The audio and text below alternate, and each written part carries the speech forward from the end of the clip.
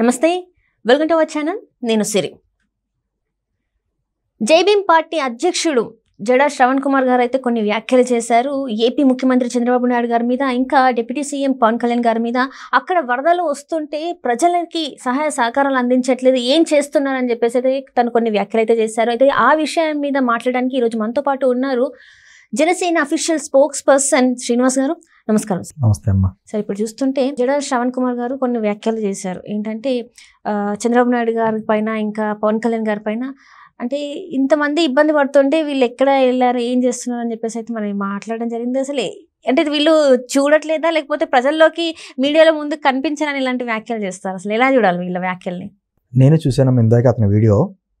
అతని వీడియో మాట్లాడుతా చాలా భావోద్వేగం ఉంటుంది. అతను ఆ మాటలు ఏంటంటే రెండు వేల ఇరవై నాలుగు సంవత్సరంలో కూడా ఇటు వరదలు వర్షాలు వస్తుంటే ఇన్ని లక్షల మంది అనా నిరాశలు అవుతుంటే పట్టించుకోకపోవడం ఇటువంటి ప్రజాస్వామ్యంలో ఉన్నామని చెప్పి కొన్ని సూక్తులు మాట్లాడాడు ఆయన. సరే ఆ మాట్లాడే సందర్భంలోనే గతంలో జగన్మోహన్ రెడ్డి గారి గవర్నమెంట్లో ఆ రోజు కృష్ణానది వరదలు వస్తే అప్పుడు సరైనటువంటి ఫ్లడ్ మేనేజ్మెంట్ చేయకపోవడంతో జరిగిన నష్టాన్ని మాట్లాడుతూ అప్పుడు పవన్ కళ్యాణ్ గారు మాట్లాడారు. ఫ్లడ్ మేనేజ్మెంట్ సరిగ్గా చేసుకుని ఉంటే రాయలసీమకి నీళ్ళు వచ్చేయి రాయలసీమ కరువు ప్రాంతాలతో ఉంది కదా నీటిని సద్వినియోగం చేసుకోలేకపోయారని మాట మాట్లాడారు అప్పట్లో. ఆ వీడియో ప్లే చేసినా అబ్బా ప్రవచనాలు వెళ్ళలేకపోతున్నాం ఆ రోజు అన్ని మాట్లాడిన వ్యక్తులు ఈ రోజున డిప్యూటీ సీఎం గారు అయినా మరి ఇన్ని లక్ష కృష్ణానదికి ఇంత వరద వచ్చి ఇన్ని లక్షల మంది నిరాశ్రులు అయితే ఏం చేస్తున్నారు? చంద్రబాబు ఏం చేస్తున్నాడు? పవన్ కళ్యాణ్ గారు ఏం చేస్తున్నారు? గాడిదలు కాస్తున్నారా? అనేటువంటి మాటలు మాట్లాడాడు ఆయన. శ్రవణ్ కుమార్ గారు మీ ఆరోగ్య పరిస్థితి మీద మీ మానసిక పరిస్థితి మీద నాకు కొంచెం అనుమానంగా ఉంది. ఎందుకంటున్నానంటానమ్మా? గత ఐదు సంవత్సరాల్లో ఈయన జడ శ్రవణ్ కుమార్ అంటే ఎవరికి తెలియదు అమరావతి ప్రాంతం నుంచి నేనేదో అమరావతి ప్రాంతాన్ని ఉద్ధరిస్తాను అనేటువంటి రాజధాని ప్రాంతం గురించి అనేక సందర్భాల్లో మాట్లాడాడు. అనేక ఛానల్స్లో కనిపించాడు ఈయన. అమరావతి ప్రాంతానికి అనుకూలంగా. ఆ ఐదు సంవత్సరాల్లో జగన్మోహన్ రెడ్డి చేసినటువంటి అనేక కార్యక్రమాలు విమర్శించాడు ఈయన. దాదాపు ఐదు లక్షల కోట్ల ఆదాయం సృష్టించేటువంటి అమరావతి ప్రాంతం నాశనం చేసాడు జగన్మోహన్ రెడ్డి అని విమర్శించాడు. అక్కడ జగన్మోహన్ రెడ్డి గారు కొన్ని ఇల్లు ఏదో నిర్మించి ఎవరికో పేదలకు ఇద్దామని చెప్పేసి ఒక కార్యక్రమం పెడితే ఎవరి భూములు ఎవరికి ఇస్తామని చెప్పేసి అని నిలదీశాడు. అయితే ఇతను పార్టీ పెట్టుకున్నాడు కదా జేబీఎం పార్టీ. ఎన్నికలు వచ్చేటప్పటికి తన రాజకీయ వ్యక్తిగత స్వార్థాలు కొన్ని బయటకు వస్తూ ఉంటాయి కదా. ఇతని అవసరాలు లేకపోతే ఈయన ఇచ్చినటువంటి కొన్ని ఆలోచనలకి ఎవరో కొన్ని ఒప్పుకుని ఉండరు. చిచ్చి పొమ్మనంటారు పక్కకి. దాంతో మళ్ళీ ప్లేట్ ఫిరాయించి అదే అమరావతి ప్రాంతం మీద విషయం చెమ్మడం మొదలుపెట్టాడు ఈయన. నేను ఆయన చాలా సందర్భాల్లో చాలా డిబేట్స్లో ఉన్నాం. అంటే నేనే మేధావిని అన్నీ నాకే తెలిసినటువంటి ఒక అహంకారం అతనిలో కనపడతా ఉంటుంది. అతని అహంకారం నిజంగా అది చదువుకున్నతోటి వచ్చేటువంటి అంటే విద్య ఎక్కువైనా ఒక అహంకారం ఉన్నా తప్పులేదు. ఈ అహంకారం ఎటువంటి అహంకారం అంటే అజ్ఞానం అన్నమాట అది. కృష్ణానదికి వరద వస్తే అక్కడ మునిగిపోయిందా? అంటే దేని వల్ల అక్కడ వరద ఇప్పుడు ఈరోజు వరద ప్రాంత ప్రజలు ఇబ్బంది పడుతున్నారు? బుడమేరు మునకం వలన. బుడమేరు వాగు వరదకేనే కృష్ణానది వరదకి అసలు సంబంధం లేదు. అసలు దానికి దీనికి సంబంధం లేదు. బుడమేరు వాగు పొంగి ఎక్కడో ఖమ్మం జిల్లా వర్షాలు రావడం వలన అక్కడ అటవీ ప్రాంతం నుంచి ఆ వాగులు అన్నీ కలిసి వచ్చి బుడమేరులో కలిసి కలిసి రావడం వలన ఆ ప్రాంతానికి విజయవాడలో ఉన్నటువంటి ఆ ప్రాంతంలోటి వరద ముప్పుకి అయ్యి చాలామంది నిరాశ్రయ్యారు ఈ రోజున డెబ్బై నాలుగేళ్ళ వయసులో చంద్రబాబు గారు ఇరవై నాలుగు గంటలు పనిచేస్తున్నాడు ఆయన.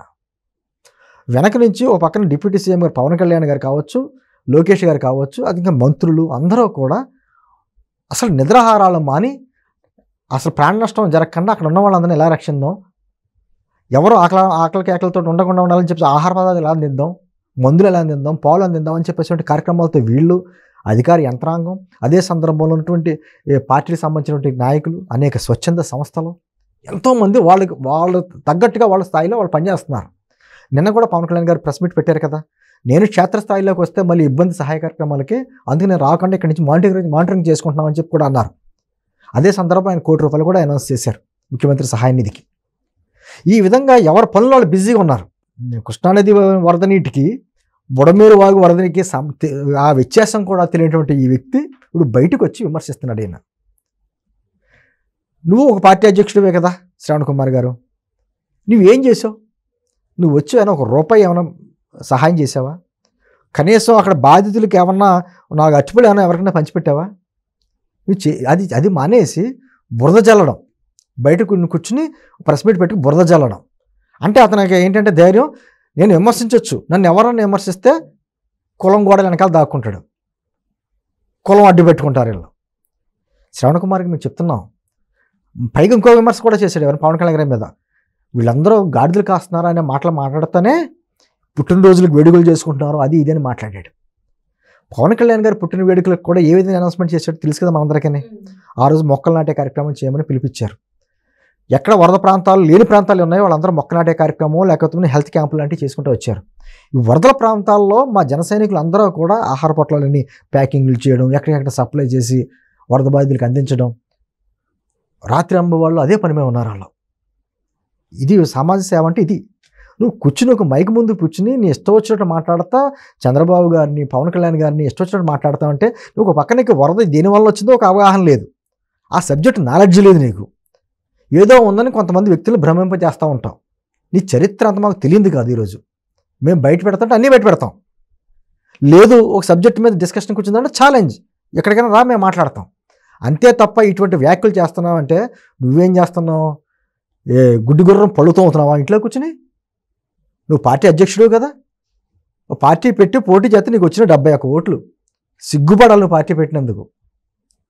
నువ్వు చదువుకున్న చదువు ఈ సమాజం ఇచ్చినటువంటి అవకాశాల మీద చదువుకుని పైకి ఎదిగావు.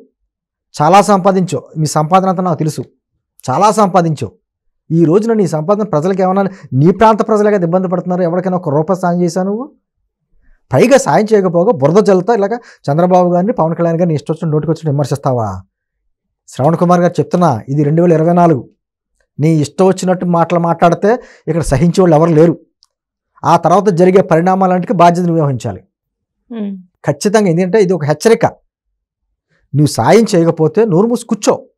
అంతే తప్ప చేసే వాళ్ళని ఇలా డైవర్షన్ మాటలు మాట్లాడతా బురద జల్లే మాటలు మాట్లాడతా మాత్రం సహించడానికి ఎవరు సిద్ధంగా లేరు. ఎందుకంటే ఈరోజు ప్రజలు ఇబ్బంది ఉన్నారు. అదొక ప్రకృతి విపత్తు. ఆ విపత్తు జరగడానికి కారణాలు ఏంటి? గత ప్రభుత్వం ఏం చేసింది? ఆ చర్చల్లో కూడా మేము వెళ్ళట్లా. జరిగిన నష్టానికి కారణం గత ప్రభుత్వం కూడా తెలుసు మాకు. ఎందుకంటే ఎక్కడా కాలువల నిర్వహణ కానీ అసలు వరద నీటికి సక్రమంగా వెళ్ళే నిర్వహణ కానీ వాటి మీద దృష్టి పెట్టలా. మేము అది కూడా ఆ నిందలు కూడా వేయట్లా జగన్మోహన్ రెడ్డి అంటే పోనీ అవగాహన లేమితే ఏదో మాట్లాడాడు. నువ్వు చదువుకున్నా అని చెప్తావు కదా మేధావ వర్గం అని చెప్పుకుంటావుగా. నీకు దేనివల్ల ఈరోజు ఆ ప్రాంతం ములిగింది కృష్ణ విజయవాడలోని? ఎంతమంది నిరాశ్రులు అయ్యారు? ఎంత ప్రాణ నష్టం జరగకుండా ఏ విధమైన కార్యక్రమాలు జరుగుతున్నాయి? ఒక పక్క నుంచి కేంద్ర ప్రభుత్వం నుంచి బలగాలు వచ్చినాయిగా. ఇన్ని కార్యక్రమాలు జరుగుతుంటే నీ పార్టీ ఒక నిజంగా ఒక రాజకీయ పార్టీగానో లేకపోతే ఒక మనిషిగా ఒక చదువుకున్న మనిషిగా సలహాలు చెప్పు ఇలా కాదు ఇలా చేస్తే ఇంకా బాగుంటుంది ఇలా చేస్తే ఇలా బాగుంటుందని సూచనలు చేయి. తప్పు లేదు. అంతే తప్ప నోటుకు వచ్చినట్టు మాట్లాడితే మాత్రం ఖచ్చితంగా క్షమించం. తగిన చర్యలు ఖచ్చితంగా తీసుకుంటాం. ఇది మొదటి తప్పుగానే భావిస్తున్నాం. ఇదే కంటిన్యూ అవుతే మాత్రం శ్రవణ్ కుమార్ గారు చాలా తీవ్రమైన పరిణామాలు ఎదుర్కోవాల్సి వస్తుంది. కొంచెం జాగ్రత్తగా ఉండండి. Thank you so much